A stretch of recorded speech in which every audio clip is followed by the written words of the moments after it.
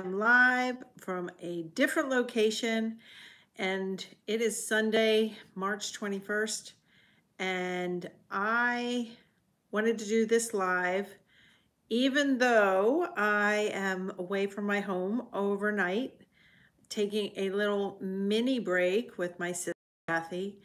And I wanted to come on here and talk quickly. It's not going to be a long live. Um, I want to talk about stress reduction for parents and professionals in the autism world. I have enough. And since I am away from home, I thought I'll give you some tips on how to reduce stress if you think your child might have autism or if your child or clients do have autism. And um, so if you are here, I see Lily is already here from Australia. She has not missed a session and Get Gel is already here too. Samantha is her name and from Melbourne, Florida. Awesome. So introduce yourself in the comments if you can. Heather's here on YouTube. Excellent. Um, and if you've missed any of the live broadcasts, I've been going live every day in March in anticipation of my book coming out. And I'm sorry it's backwards on YouTube. That's the um, best I can do. I'm sure there's a way I could figure out how to turn that around, but not going to risk it. TurnAutismAround.com has all the details, including a two-minute book trailer. Gives you all the details about the book. Uh, then you can figure out how to order the book, either through Amazon, international order, Target, Walmart, Book, uh, Books A Million.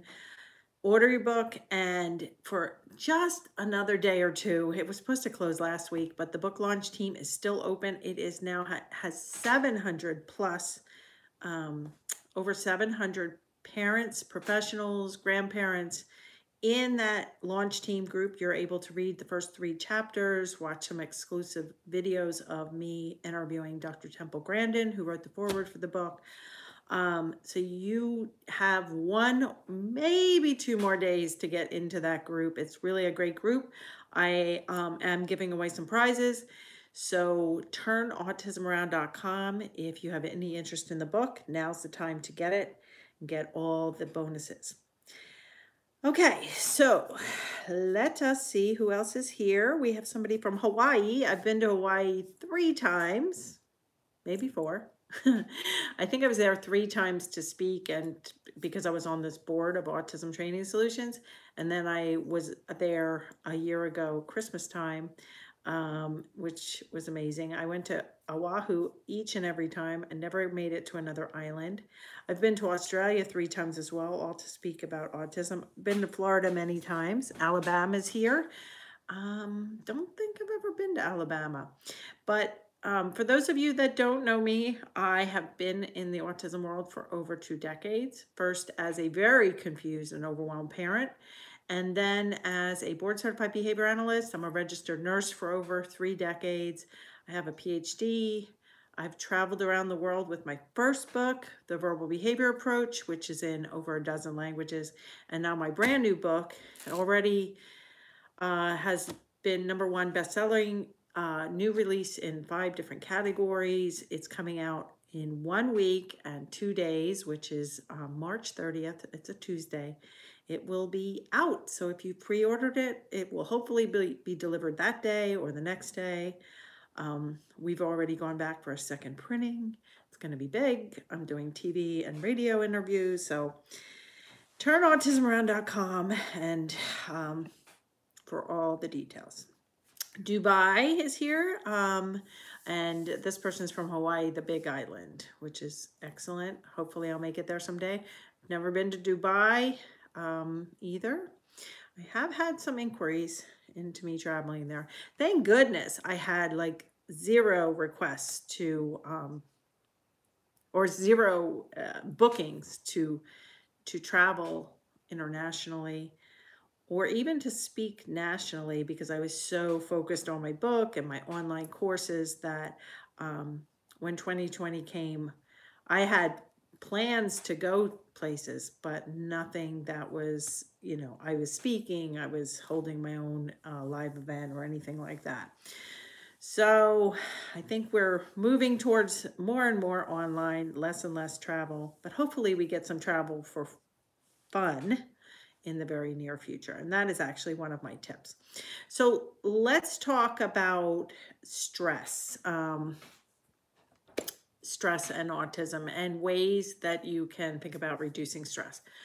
So, um, back when Lucas started showing signs and was diagnosed the day before his third birthday in 1999, I was very sleep deprived. I was a stay at home mom with two boys, 18 months apart. My husband's a physician.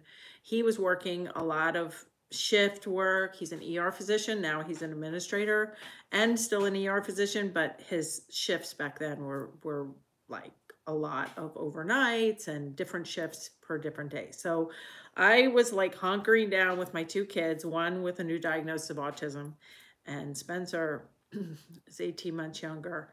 And Lucas didn't sleep well. He didn't sleep well for 10 years. And um, until I finally figured out how to teach him to sleep and how to teach my clients to sleep. And so there is a chapter in this book all about sleep. Um, but um, so I was sleep deprived, and somebody early on told me that they would recommend a couple things. They would recommend that my husband and I take vacations or at least go overnight once a month, which we never did. But, you know, that was their advice because marriages are in jeopardy too, especially when you're playing musical beds and there's there's lots of stress. Um, so that was one thing, but what I took from that is I needed to learn more because I was completely overwhelmed. And I had a master's degree in nursing. I'm like, this can't be that hard to figure out. But it was. And there, so I would literally go to autism conferences to learn and to sleep in a hotel bed by myself in my own room. and so that was, I took mini vacations.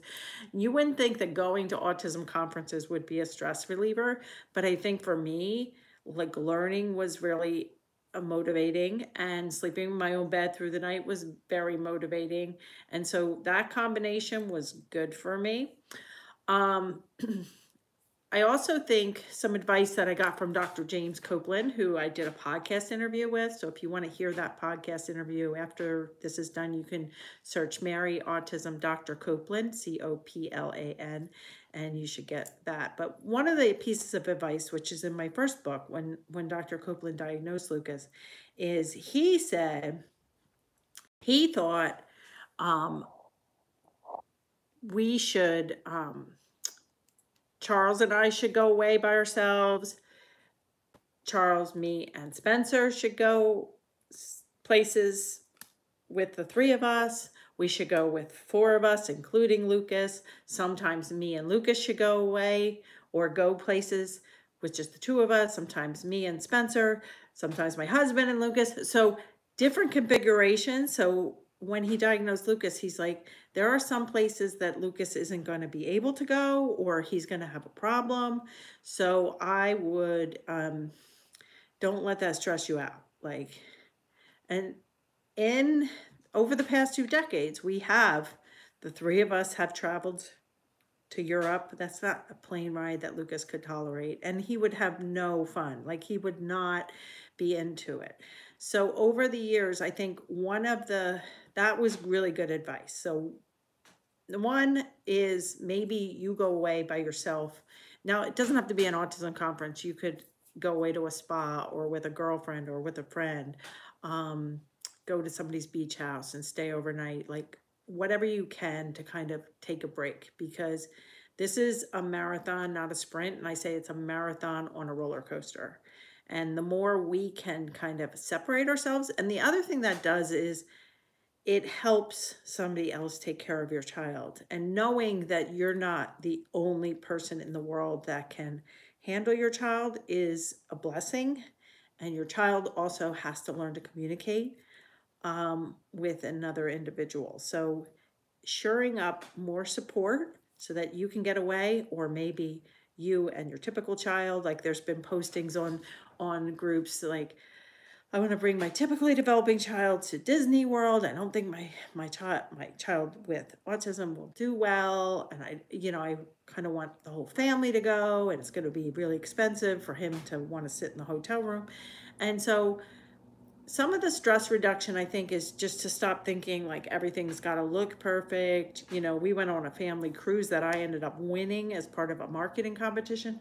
We went on a family cruise with 14 or 15 of us and left Lucas at home um, that you know that was a decision but i think in the end it was a really good decision because lucas wouldn't have been comfortable there. He wouldn't have liked it. Like he doesn't have enough language to tell me if he wants to do something or not but i as his parent and guardian and know him um, i know what he would like and what he wouldn't like. And and it's stressful to bring um, a child somewhere if you know it's going to be a disaster or you think that might be a disaster. So um, really planning, I think, assessing, we can even use the four-step turn autism around approach, assessing the situation, like how, well, you know, the autism spectrum's huge. And bringing Lucas and Spencer to Disney World when they were really young in a double stroller and a single stroller, like they did, Lucas did well enough to not you know, all bringing little kids to Disney World is is a problem. Like it, it can be stressful and um, it takes a lot of work. So anyway, assess the situation, but don't have these the the idea like what would this look like if I left my child with autism with my parents or with a trusted loved one. Um, because you only have like your child has only one life, but you have only one life too. So I do think that getting away and doing stuff in different configurations are two big stress relievers. Um, at the end of my podcast episodes, when I interview somebody, I always say part of my podcast goals are for parents and professionals to be less stressed and lead happier lives. And um, so I asked for tips, and Grandma Diane really was a great interview early on and she recommended like planning vacations because quarterly because she's like i'm either planning it on a vacation or coming out of a vacation. Um, and these vacations like you might think well i have no money i can't go on vacation but you know think out of the box. These can be like little day trips or fun times. Uh, they can be really inexpensive too. You could do a picnic in the park um, just really try to plan things so that you have something to look forward to. Um, another great tip that I got from Kate Swenson from Finding Cooper's Voice when she was interviewed on my podcast number 70, marybarbera.com forward slash 70, is she said her house got really loud because Cooper, her son, wouldn't wear headphones and his iPad, he would just volume out the, you know, really high. So she got a uh, volume restrictor app on his iPad, a volume reducer or noise reduction on um, a volume reducer, I think is what it was called. And I was like, what? I had never heard of that. And Lucas does wear headphones, but he would get overstimulated by constantly turning it up. So I know that tip alone, and I can Google and, and put it in here if anybody wants to know, but just Google volume reducer app on iPad or iPhone. And um, that's been a real godsend to us and Lucas's overexcitement, which turned into a, a, a agitation really, um, uh, really improved. Heather said, How do you remember the numbers of all your podcasts? I don't, I just remember the ones that I constantly give out. um, so I don't know Grandma Diane's, although I give that out a lot. So you can always search Mary Autism, whatever I say, if I say there's a podcast or a video blog, or even if I don't say it, if you're like, gosh, I'm really wondering about this, it's a topic that I'm struggling with, just search Mary Autism plus your topic and it'll probably pop up. Okay, so planning vacations, doing day trips, working in different configurations within your family. Don't feel like you have to bring all four of you to every event um, in order for um, it to look somehow, some way. And just really um, getting, um, somebody said, I need your personal number, please. No, um, that's not a way to reduce my stress at all. In fact, I am very, very protective of my phone number, and we are a very um, small online business, and um, so we we do everything over email. So if you have a, um, a request or a question specifically about our books or our courses or any of our online offerings, you can always contact us through our website, marybarbera.com. But you cannot call me, that is for sure. Anyway, so um, those are some um, stress reducers. Now, there's also a lot of research to show that people that meditate, journal, um, exercise, exercise outside, these are all um, stress reducers too.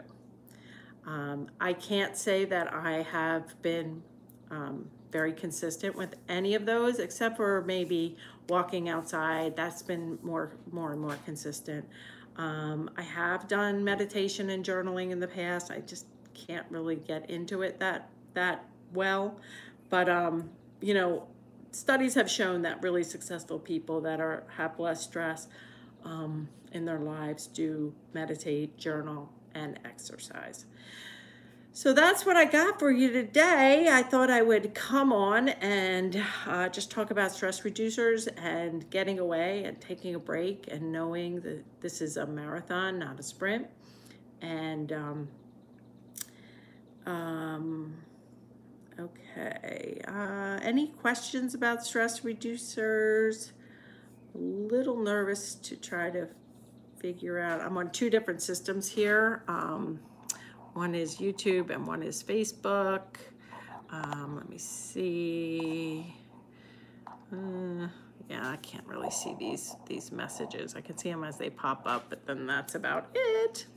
Um, okay, so that's what I got for you today. Hopefully, um, you enjoy the podcast interviews that I do, and I ask people at the end how to how they have reduced stress and lead happier lives.